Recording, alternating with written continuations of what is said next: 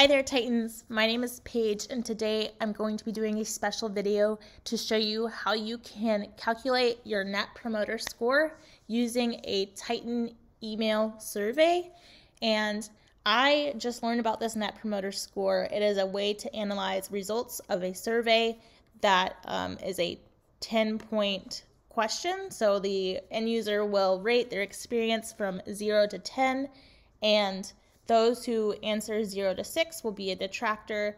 Those who are 9 or 10 are promoters.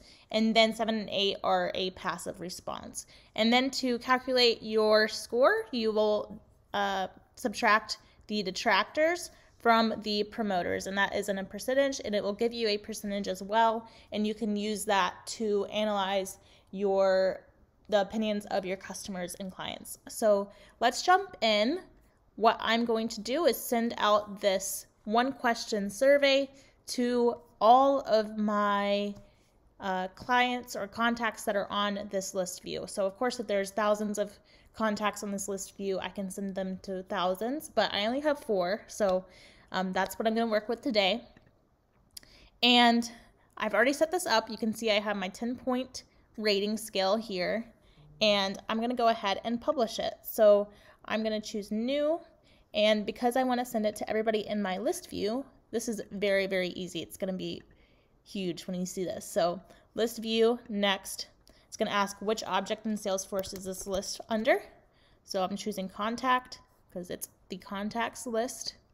And then it's asking me what list view. So this list view is called survey recipient contacts.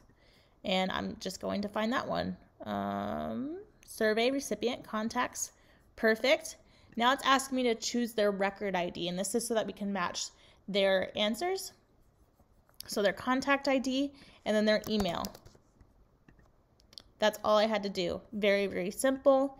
Now I get to say who would I like to, oh, if I would like to test the, the um, email, I could do that. So you can type in the record ID, like a, just paste one in there, enter their email address, and you can see the test email. I've already tested it. It looks great, and I'll show you guys that in just a second. All right, now we can send the survey results to somebody if you'd like. So I'm going to just send it to myself. And you can add a comment if you'd like. Then you can choose to schedule it to be sent out maybe at the end of an event or something. Or you can just send it now. So that's what I'm going to do. Click send. Oh, comment is mandatory. Um, let's call it webinar survey email. Okay, click to send. It's being sent. All right, so now let's go into our Salesforce environment. And I'm just going to show you really quick what I did to calculate the net promoter score so let's jump over to our survey environment or application, Titan Survey. And here we can see the surveys that I have sent out. I think it's this one here. Survey distributions, yes. So this is the distribution that I just sent. And we can go to related and we see that all four of these surveys that were sent out have not been opened yet.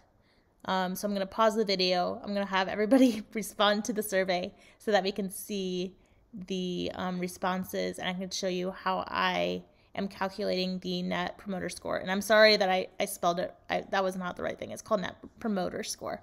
Okay, so this is what the email looks like when the end user receives their survey email. And I did not really configure mine to be very pretty, and that's why we have this like description text optional here. But anyways, let's just rate it a 10. And this takes us to the um, thank you message, which I also did not configure, and that's why it looks like this. But let's go back to our survey in um, Titan survey in Salesforce, and we can see that we have um, a few responses now. So I'm going to go to my distribution that I sent out and then I'm able to see that I have four people who have completed this survey and let me just show you the field that I added to this. We have something called under the survey question responses.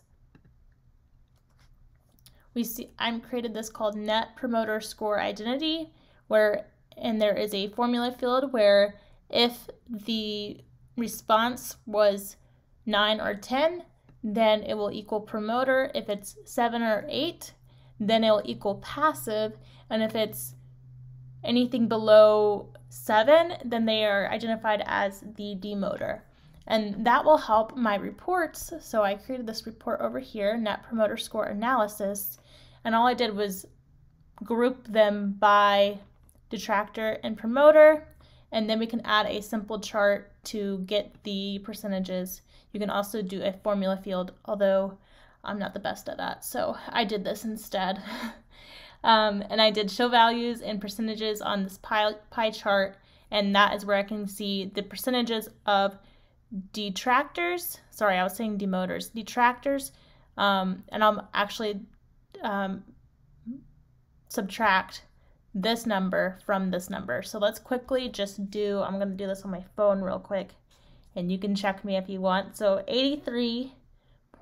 83.33 minus 16.67 equals 66.66%. And so that will be my net promoter score. And honestly, I think that's pretty good. Let's just, let's look at this. Net promoter score survey. You can see I've done a little bit of research on this.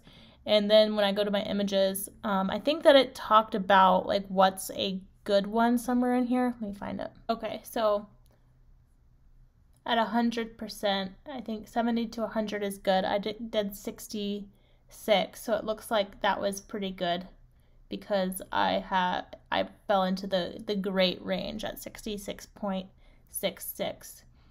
And then it looks like if you are in the negative, that means you need to improvement and you're having more people who are scoring 0 to 6 than people who are scoring 9 and 10.